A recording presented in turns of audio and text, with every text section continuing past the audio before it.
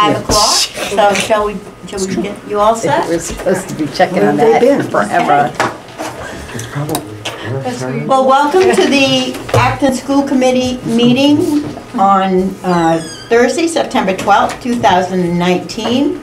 And we will begin our meeting with a pledge of allegiance. I pledge allegiance to the flag of the United States of America and to the republic for which it stands, one nation, under God, indivisible, with liberty and justice for all. Do we have any adjustments to the agenda? Uh, We do, we can strike number 10, executive session. We don't have a need to meet in executive session this evening. Okay.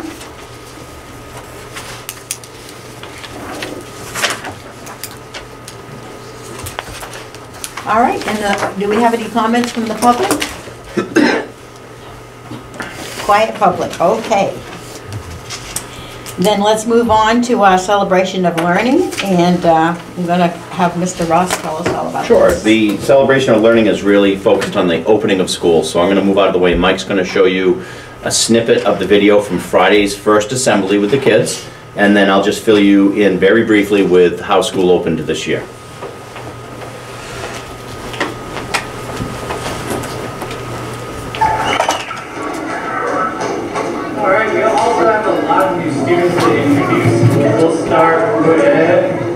pre-K. Can all the pre-K students stand up and give us a wave?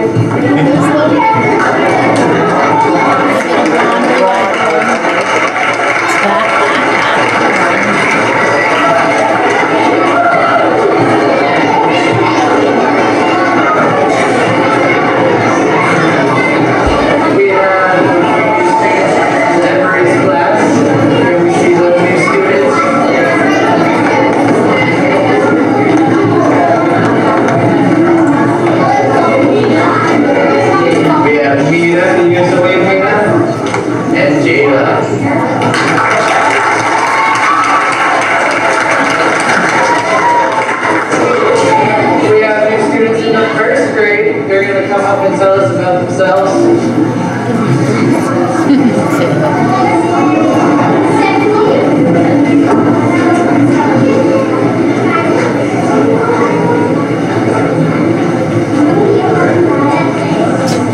Yes,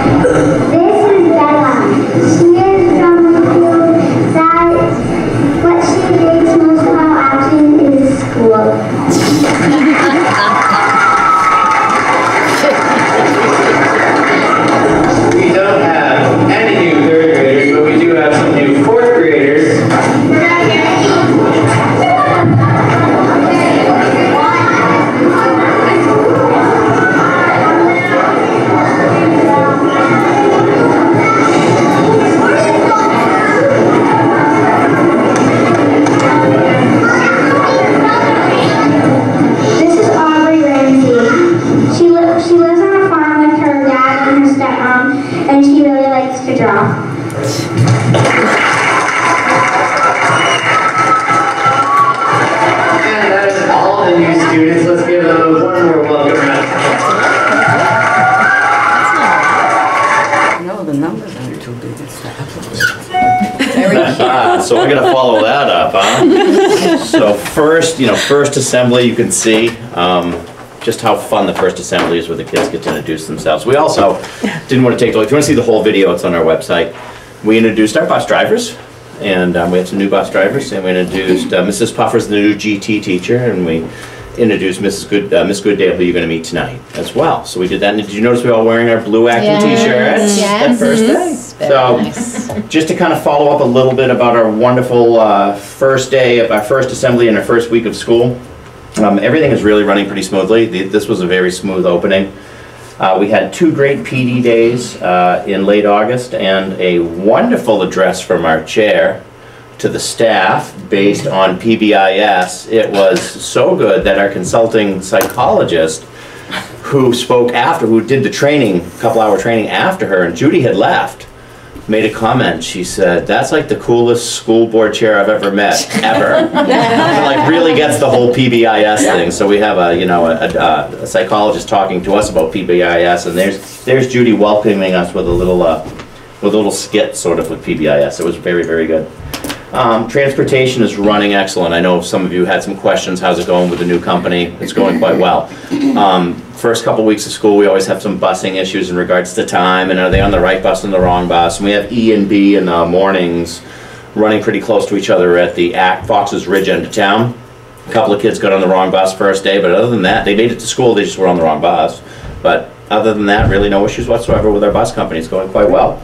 And, um, yeah, and soccer's already started, so we're already, already into athletics. So that's just kind of a quick report out on a very good beginning of school, and, um, I'll have a few more things when we get to that part of the agenda. Okay. Thank you. Thank you very much.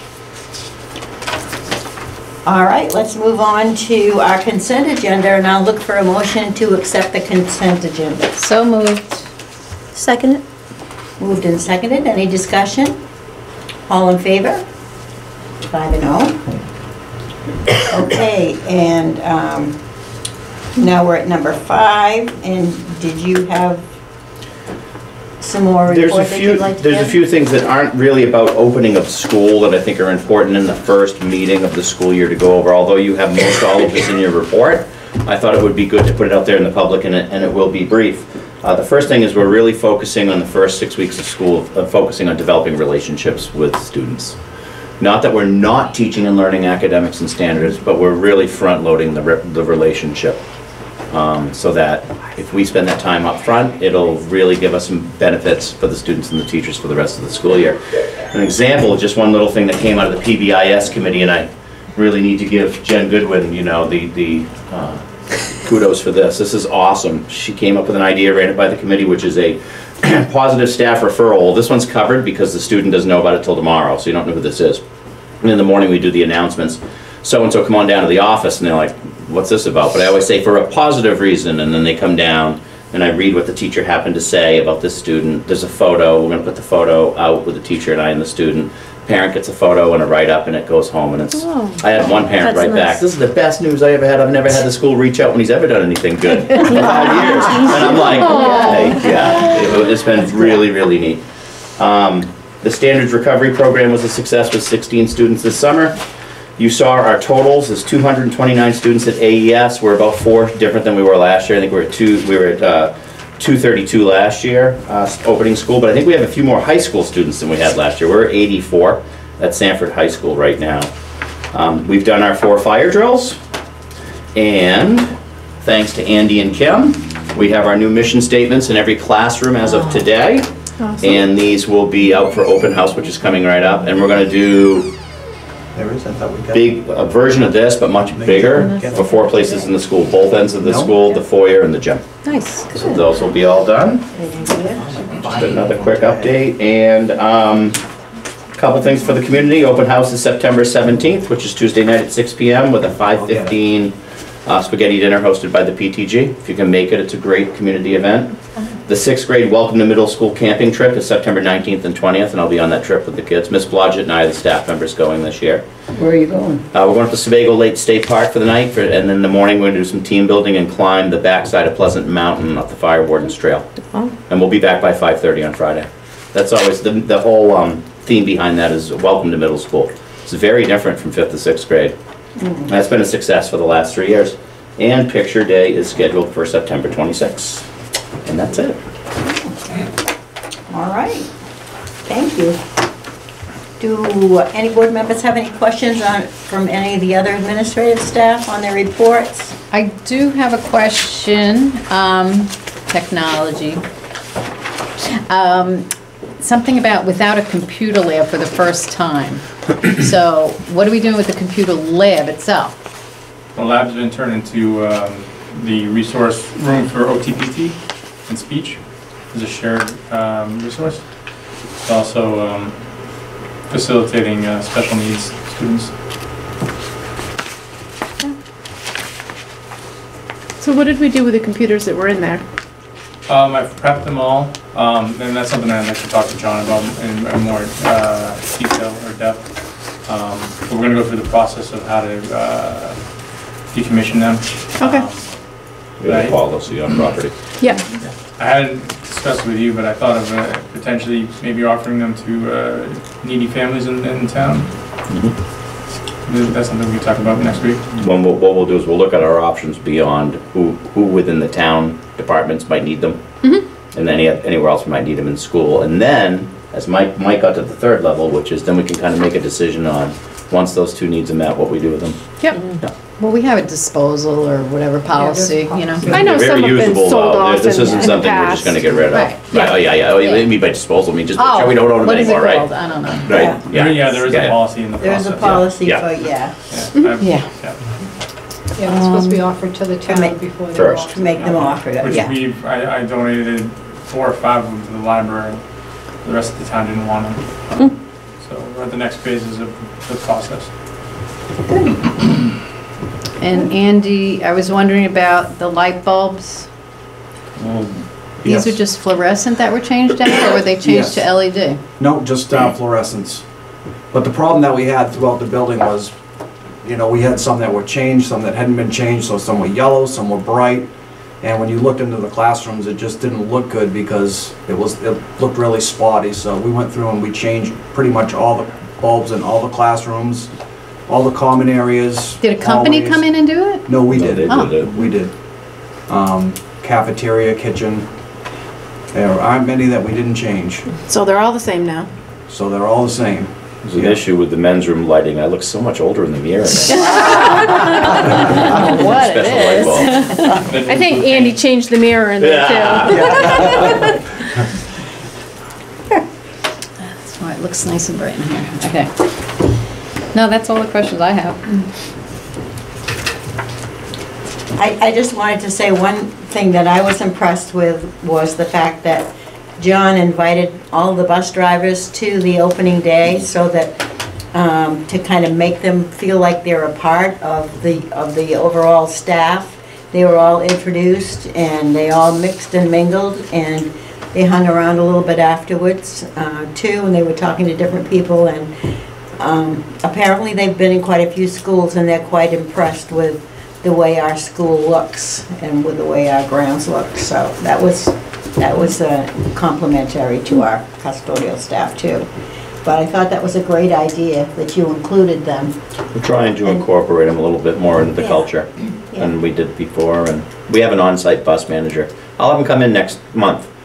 He's not our employee, he's the employee of the bus company, but he's here a lot. And he can kind of talk about his job and how's it going. It'd be nice for you to meet him.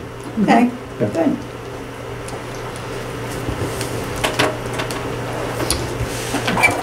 Everybody all set with number four? Yep. Okay, then let's move on to number five, progress monitoring reports. That's me, I think. That's you. NWEA, yeah. So we're in the middle of NWEA testing um, for the fall. Um, Purpose for that is to then um, take a look at the data, um, look at any dips over the summer, um, and to group and regroup kids for um, reading and math, um, whether it's within a classroom or across grade levels um, or within a cohort. Um, We're doing the push-in for Title I this year, um, where we're school-wide, which means uh, Mrs. Driscoll and Mrs. Smith will be able to go into the classroom and support. So we've been working on building a schedule that provides every um, classroom with that additional support during reading, so that those students who are scoring, scoring a bit below at this time will get um, not only some time for the, from the teacher in a small group, but will also get some time um, with the Title I staff or somebody, another adult. So sort of a double dose um, during that reading block time. And we'll use um, the NWEA results. We also have, um, the Title I staff is doing some reading assessments um, again from, um, from the spring, just to reassess the, some of the Title I kids or kids on RTI plans. Um, and we're also dibbling, um, I believe, K1 and maybe 2, um, doing the DIBELS assessment. So that's what the last couple of weeks, and we'll be finishing all um, assessment by next Friday, I believe. Um, and then um, we'll be well on our way to getting those reading groups and math groups up and running. Very good. I just want to say that the third grader that I know, my grandson, um, he's like, I had two hours of testing Oh, today. yeah. It's different, Sorry, it's the way it is. Big boy now. Yeah. Yeah, yeah. Yeah. It does take a while for some of them, and so it does, you know, it might not have been him testing for two hours, but when, I don't know. the He time said from two hours. start I to found it hard to finish, believe, um, but I yeah, didn't know. It might be a while, yeah. So. And I'll have those results, you know, um, next The next board month, meeting. We'll, yeah. we'll take a look at where kids are and, um, Great. yeah. All right, let's move on to number seven. Um, We have no reports from any of our committees tonight to, But I do want to say we can get rid of 7.3. The Okay. We don't negotiation need to put committee's that not in anymore. meeting. we don't need to put that on. So there. no, we don't need to do it for another couple of years. Right. Right. Okay, we'll cut it. It's part of the boilerplate. Okay, Yeah, I know. I'm just saying. sounds good. All right, So there's no- number eight, is no old business, so let's move on to number nine, which is new business. You bet. And uh, I'm turn this over Huh? again to Right, Mr. sure. Ross. So I have a nominee for you Mine tonight. says Um, this. As you know, mo- having Sally Puffer move to GT created a uh, opening at third grade. So we interviewed mm, mid-August. It was getting close to school starting, probably late August, to be honest with you. And I said to Patty, hold off on any letters going home because we're not sure, you know, for third grade, what, what what we're going to get here. But boy, did we do well. So Miss Tabitha Goodale is here tonight. And um, she's had some substitute teaching experience in the Saukville School Department, did her student teaching at the State College Area School District in Pennsylvania, where she was also doing her grad work, and practicum at Brewer Community School in the fourth grade. Has a Master's of Art in edu- in Educational Theory and Policy. So I think we can have some very interesting conversations after work sometime about, about that. And uh, Bachelor's of Science in Elementary Education and Political Science, concentration in Social Studies from the University of Maine. So this is her first professional teaching position, and I walked in, I said, how'd your first day on the job go ever in education? And she lit right up and said, this was wonderful. So, it was a great fit, And I think she's doing a great job right out of the gate, so I just wanted you to, why don't you wave or say hello to our school committee? Welcome. Thank Right. you. It has been a whirlwind from the interview to now, but I, this entire community has been so welcoming and the amount of support I've been getting as a first-year teacher has been great. So I Good assume she has a mentor, so who? Well, an official mentor is probably gonna be through certification, but you're the team leader and right next door. So you're like the mentor. I'm actually her mentor. You are actually the You are- certification yeah. mentor too. Yeah. So you wear three hats. Neighbor, cohort leader, and mentor. So Awesome. She's gonna get great guidance, and she's got Patty. Good, Yeah. good, well, welcome. So we have to You, vote. you want that number for the vote? Yeah. Okay, you wanna write it down? I'll give it to you. It's, um, if you're gonna make the motion, it's an MA step zero. Forty thousand three hundred and ten.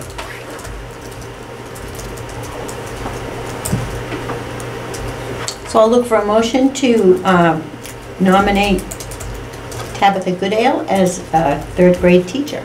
I'll make the motion to nominate Tabitha Goodale at MA Step Zero, $40,310. Second that. Okay. Any further discussion? All those in favor? Have it on. Excellent. Good. Thank you, everyone. Welcome. Officially, even though school started. Right. I know, It's kind of a funny way we do business, huh? Yeah. Okay, um, 912, adoption of policy meeting dates and times. So Kim and I worked on this a bit. I asked her to type them up and share them with everybody. She's reached out to the policy committee to make sure these times work for them and they work for Kim's four-day schedule. So we're gonna start rolling in October, Okay. okay? And the dates, and the dates are in front of you right there. What, what time do you guys meet? 8:30. 8:30? 30. All right, but we don't have to vote on that. No, that was informational. We wanted you to know that policy was gonna get up and running. And, When We do um, the agenda, the, Yeah. all the dates will be on the agenda, so we Okay. and then we'll publish our, you know, all the dates that we have. We also are meeting as ad team, we have our own internal calendar for ad team meetings and things like that, but we want, this will go out publicly as to when, because policy meetings are public meetings. Right. And then, of course, we'll tackle the budget dates just after the holidays. Yeah. I let Jen know up at the town hall that, um, that we changed it to Thursday night. And Kim Stacy Horn, who's our liaison, she's the liaison this year, um, for the, uh, from the selectmen to the, to the school committee. So they got that information, and we're thankful to know that we're on Thursdays at five now. I mean, do you think we should put something on the reader board saying school committee meetings changed? When you say reader board, you mean out here? Yeah. Yeah. Well, after Tuesday, I need something, so that would be a good one. Because it says spaghetti supper and open house, so now I know what we're gonna put up next, thanks. Yeah. Yeah, something like that. Just meeting the second Thursday, right? Right, right. Yeah, because people aren't used to that. Yeah. Okay. How long do you want that up for? Just asking, because I'm gonna be asking for the book fair. fair? to be on Fair, there too. picture day. When are you, are you right after, you're, you're the first week of October? Town hall. We'll give it, we'll give it the rest of that week. How's that sound? All I'll right, I'll post it on What's Up in Acton too. Okay. So we'll have it on the, have it on Facebook and, you know, we're gonna adjourn for a second, but can I say one more thing? sure. I wanted to kind of wait to, if you've noticed walking through this building and these grounds, how wonderful this place looks, and wait till open house, everybody's gonna go, we have a great school here, and I want to thank Andy and his crew. They worked hard all summer, this is our first official meeting since kids are back, and I said it in August, but there weren't as many people around. And uh, Jim, John, Will, Andy, they've really had their shoulder to the wheel all summer long, and it, and it, you can tell when you walk around, this place is always impeccable, and the, and the grounds as well, so I just wanted to make sure, publicly, thank you for that, Andy, for We all the re- work. we really do have a great team. You do. And uh, I thank the school committee for the support and, you know, you guys always give me the resources that I need to keep things going, so thank you very much. Thank you. Yes, thank you. Thank you. And all the skylights were fixed. Yeah. Skylight's fixed. So- Yes. We have new pedestrian signs out there too, I noticed, coming in. Yes, I in. put a couple in. Those are just good. as kind of a precaution. Yeah. Yeah. Kids across Milton Mills Road and mm. Yep, try to Good keep them to see. safe. good What to happened to see. the owl? The owl, I don't know. Has I been dropped, I dropped, relocated. dropped Been it off. relocated? To rehab, right? It's, You mean- uh, I know, I know, but I mean, It's in, it's in rehab. oh, I've got it's, a call for an it's update. rehabitable? Yeah. Okay. They do one of two things with the owl. They either have to put it down if it's, if the injuries are serious, um, or they, they may re- relocate it. They said that usually they try to bring it back into its home territory, which would be back in our neighborhood, but it Yeah. would be well, so it wouldn't be a nuisance. Yeah, Or sometimes they said if, if the animal has kind of a unique personality, that they'll keep it there as kind of, oh, okay, um, yeah. something that the public can come and visit and they had all kinds of stuff down there. Yeah, We just, they we don't- didn't really have time to visit all the birds and the animals, but it was a, it was quite a facility. It's- It was pretty Mm-hmm. neat. Yep. Well, they have false teeth for people. They can get false feet talons for this owl. Yeah, adaptive equipment, wheelchair. I didn't get into treatments, I just started talking. Here you go. Well, I think it, it it definitely has a personality because it got to meet a lot of people Yeah. in its injured state. And a lot of people got up close and personal with the owl to take pictures and things like that from over in the, I've seen quite a few pictures that were taken over in the cemetery. And then uh, Andy had some great pictures that were taken out here. And Probably my favorite is the one where he's looking very stern, saying no trespassing. But when stuff like that happens, I always say, only in Acton. Only, that's right. Only in Acton. Okay, well, thanks for that. Okay, then I think our next thing is an adjournment. I'll make a motion to adjourn at 5:25. Good meeting. We're setting records tonight. Nope, second it. Usually second that one. It's been moved and seconded that we adjourn. Any discussion? All in favor? We didn't have a chance to discuss it. We went right on, all in favor.